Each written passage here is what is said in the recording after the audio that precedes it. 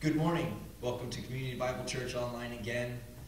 Fall is here, the leaves are falling, the weather is changing. As it gets colder, let's allow the Father to warm our hearts this morning. Bow our heads in prayer.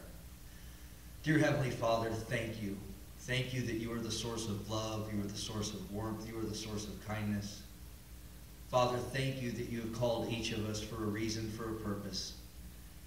We are gathered here this morning for exactly that, a reason and a purpose. And that reason and purpose is you, Father. Accept our worship, inhabit our worship. May it fall upon your ears and make you happy. Thank you, Father, for this time together. We worship you in your precious Son's name. Amen.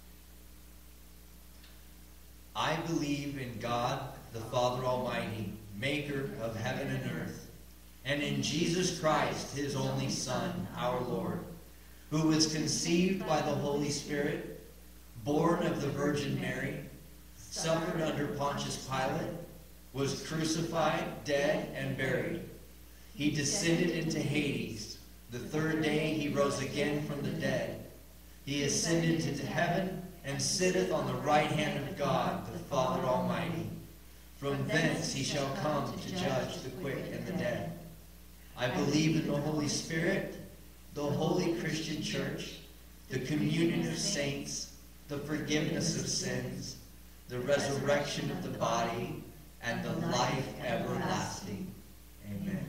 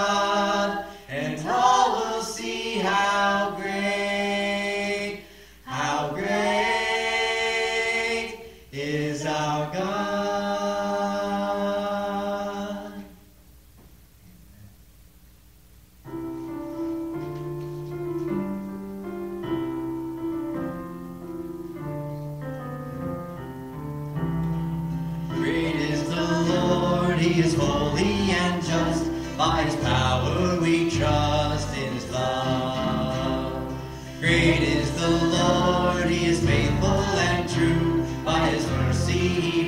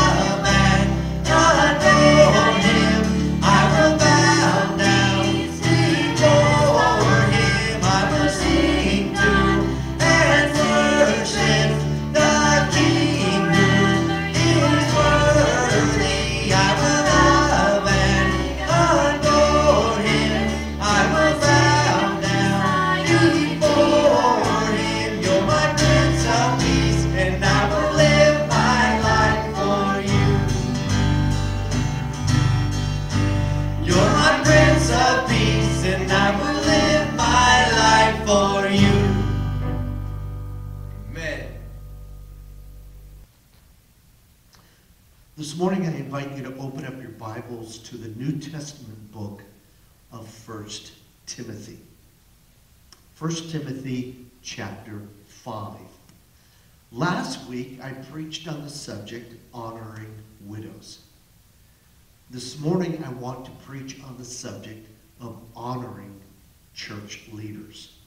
The text is 1 Timothy chapter 5, verses 17 through 25. Let's stand together for the reading of God's word. The apostle Paul writes, "Let the elders that rule well be counted worthy of double honor, especially they who labor in the word and doctrine." For the scripture saith, Thou shalt not muzzle the ox that treadeth out the corn, and the laborer is worthy of his reward. Against an elder receive not an accusation, but before two or three witnesses. Them that sin rebuke before all, that others also may fear. I charge thee before God and the Lord Jesus Christ and the elect angels, that thou observe these things without preferring one before another, doing nothing by partiality. Lay hands suddenly on no man, neither be partaker of other men's sins. Keep thyself pure. Drink no longer water, but use a little wine for thy stomach's sake and thine oft infirmities. Some men's sins are open beforehand, going before to judgment, and some men they follow after. In verse 25, likewise also the good works of some are manifest beforehand, and they that are otherwise cannot be hid. May the Lord bless the reading of his word. You may be seated. This week, like last week, the key word is honor.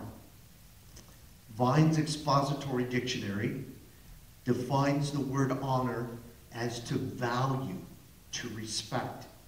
It is the key word in the previous message when we were talking about honoring widows, and it is the key word today in honoring church leaders, honoring those who serve in leadership. Now, it includes both what we probably expect, as well as some things, as you heard in the reading, that we don't expect. Let me give you my personal disclaimer for this morning. For reasons that will soon become evident, this is a difficult passage for me to preach on. And yet, it serves as another reminder why I like preaching through books of the Bible verse by verse. It forces me as a pastor teacher, it forces us to deal and consider all the counsel of God according to Acts chapter 20, verse 27. Now, before we dive into the text, I want to address four um, foundational truths so that we can know what to expect as we move forward in this text. First, the church belongs to Jesus Christ. According to Acts chapter 20, verse 28, Jesus purchased the church with his own blood. So the church belongs to Jesus Christ. Second of all, Jesus Christ is the head of the church. Ephesians chapter 1, verse 22, Colossians chapter 1, verse 18. So Jesus purchased the church. Jesus is the head of the church. Thirdly, according to Titus chapter 1, verse 5, and according to 1 Timothy chapter 3, the first 13 verses, men are appointed to lead the church. Men are appointed to lead the church. And the fourth foundational truth is this. Church leaders will give an account of their leadership before God. Let me say that again. Church leaders will give an account of their leadership before God. Hebrews chapter 13, verse 17. Obey them that have rule over you. Submit yourselves, for they watch for your souls. And here's the key as they that must give account, that they may do it with joy and not with grief, for that is unprofitable for you. So in our text, I've outlined it this way. 1 Timothy chapter 5, verses 17 and 18, honoring church leaders. Verses 19 through 21, rebuking church leaders. And then verses 22 through 25, selecting church leaders. Honoring, rebuking, selecting.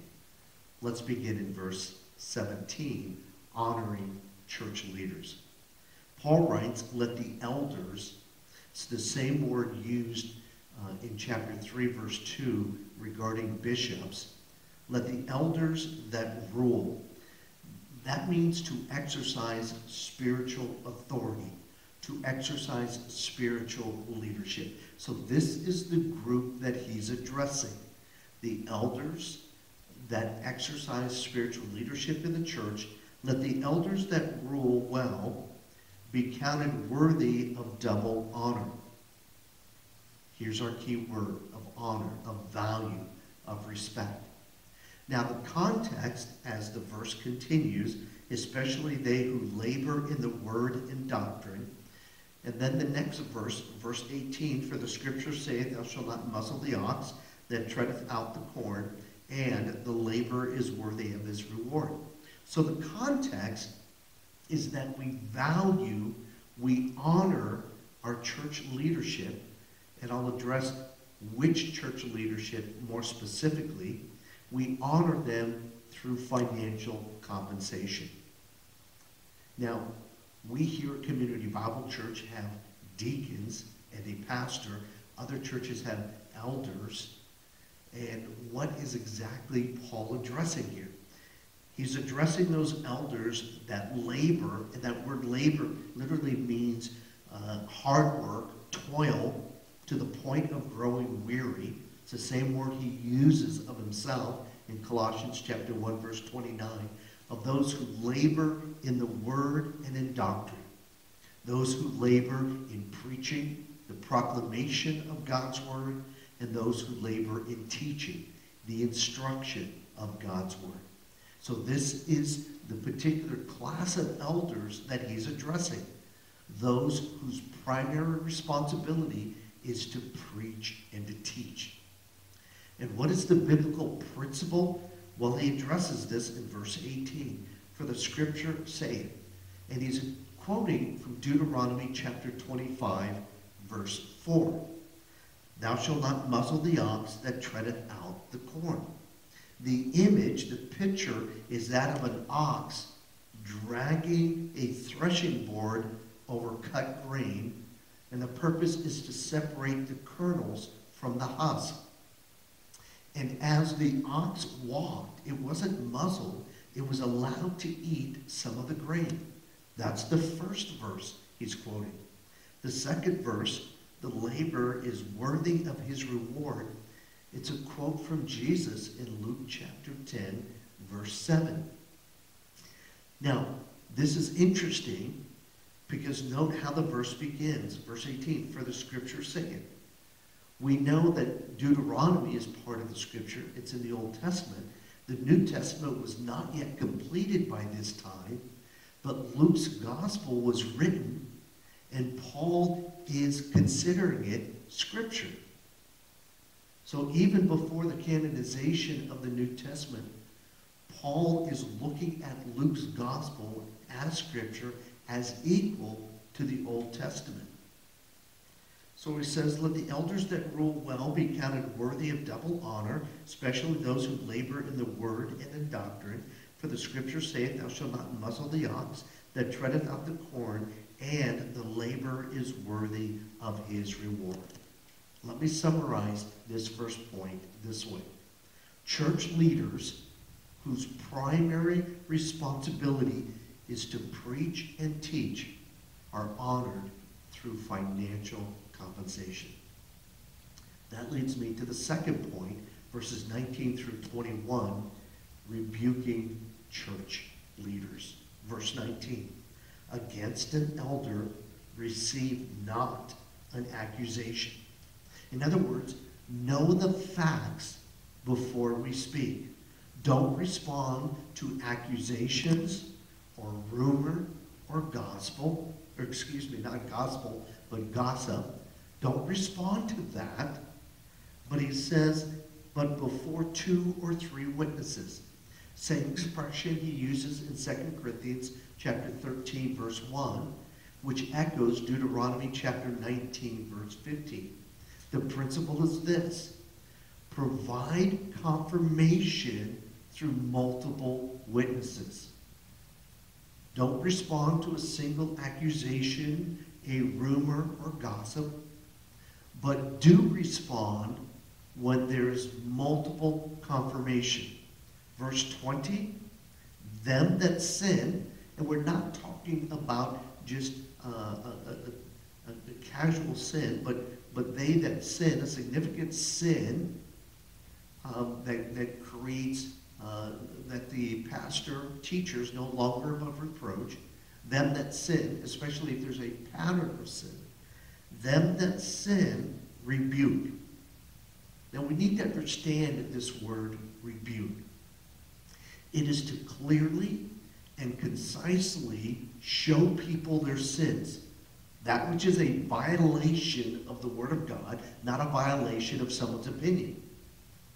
The idea to rebuke is to clearly and concisely show their sin. In other words, this is how you have violated the Scripture, and to encourage them to repentance with an eye towards restoration.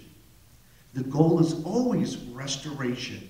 It is not humiliation. And so he says, them that sin, rebuke, show them their sin, show them their violation of Scripture, encourage them to repent, that there might be restoration.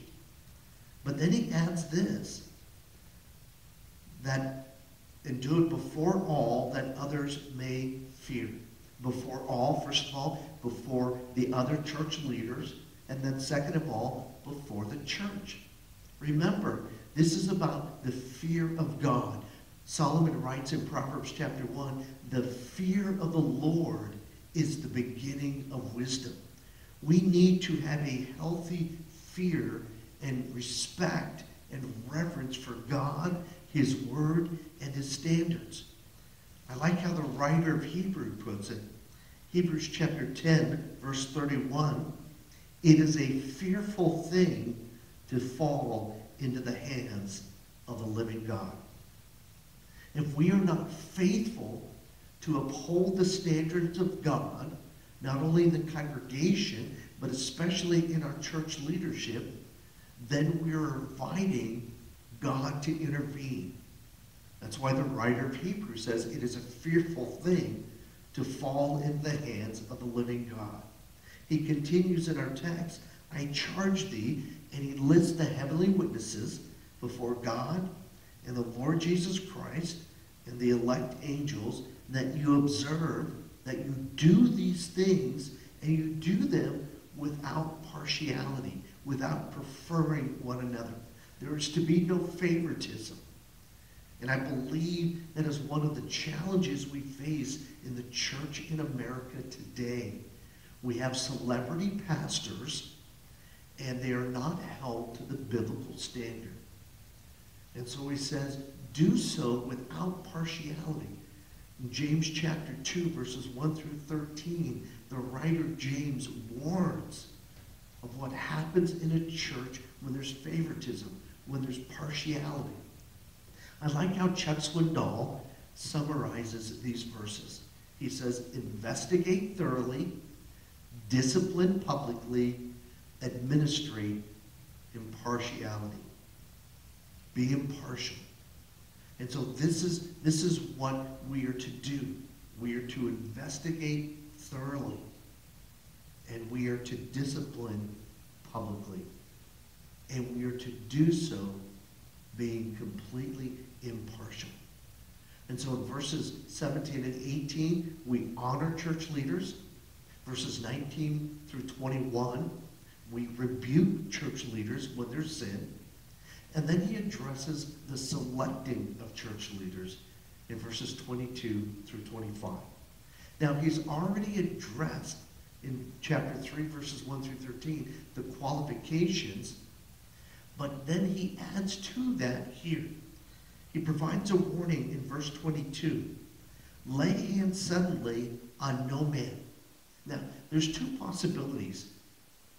He's either addressing laying on of hands for ordination or laying on of hands for restoration if somebody has sinned. I believe it's the former, not the latter, because we don't see this idea of laying on of hands for restoration, but we do see it for ordination, for ordaining elders in the church. He says, Lay hands suddenly on no man, neither be a partaker of other men's sins. Keep thyself pure. In other words, guard your conduct. Keep yourself pure. And that's excellent counsel for all of us, whether we're in church leadership or not. Keep ourselves pure. It, it's the old adage of the thermometer versus the thermostat. The thermometer reflects its environment, while the thermostat determines its environment. We are to determine our environment. We're not to reflect our environment. We're not to become like the world. Rather, we are to be, as Jesus said in the Gospel of Matthew, we are to be salt and light. We are to influence, not be influenced. Now, in verse 23, it's really a parenthetical, personal comment to Timothy. Timothy, we know, had some health problems. And he says to Timothy in verse 23 Drink no longer water, but use a little wine for thy stomach's sake and thine oft infirmities. As I said, I believe this is a personal, parenthetical comment. Paul is suggesting the medicinal use of wine for Timothy's stomach ailments. He is not advocating the use of wine for social or other reasons. Personal, parenthetical comment. And then he continues with the selecting of leaders, verse 24. And really, there are four principles in verses 24 and 25.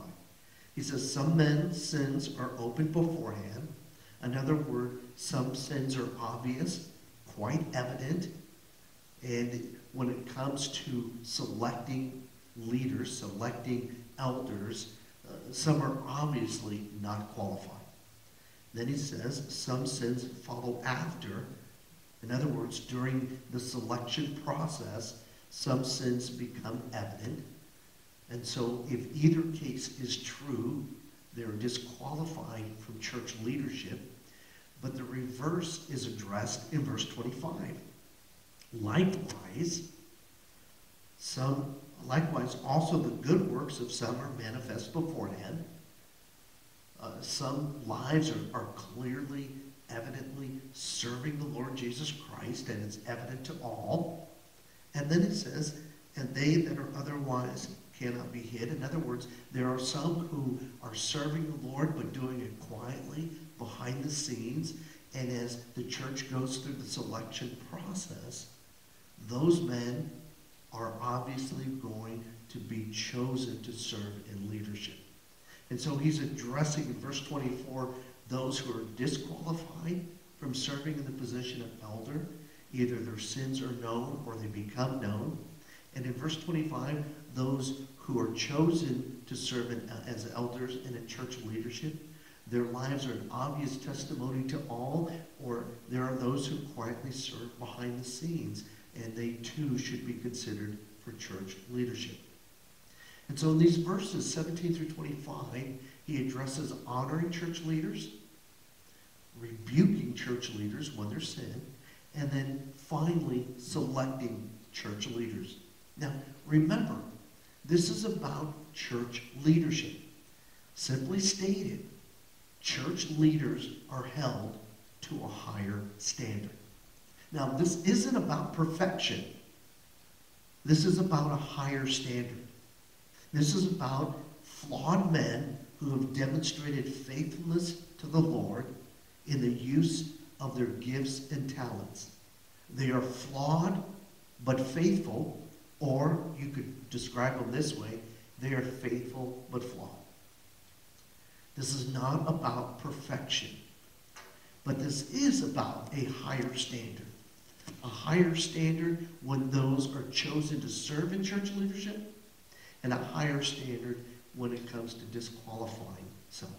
Now, earlier this summer, I preached a two part message on the qualifications for church leadership based upon 1 Timothy chapter 3, verses 1 through 13.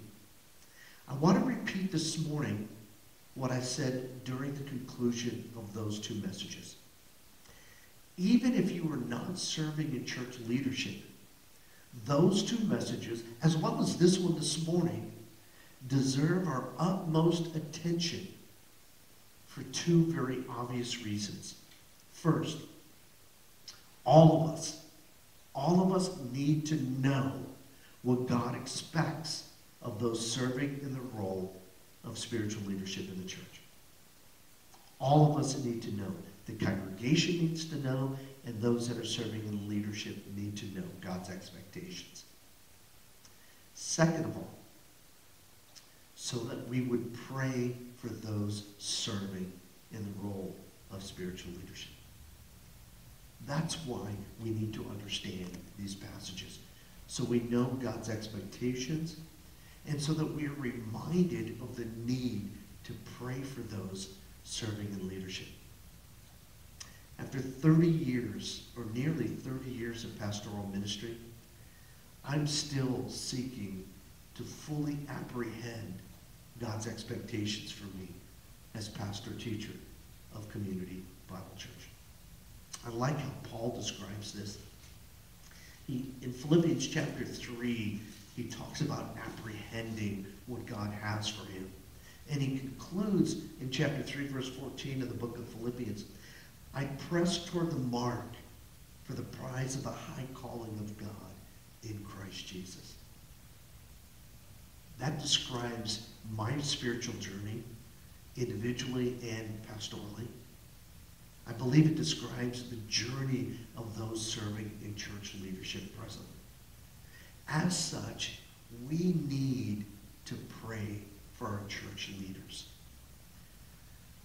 Not only because they're held to a higher standard, but also, as I said earlier, according to Hebrews chapter 13, each of these men, including myself, are going to be held accountable for our spiritual leadership in the church.